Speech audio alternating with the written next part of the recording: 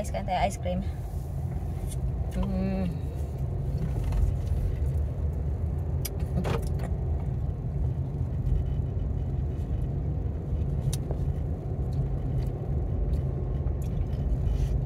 Pauwi na kami. Dahil muna kami bili kami ice cream.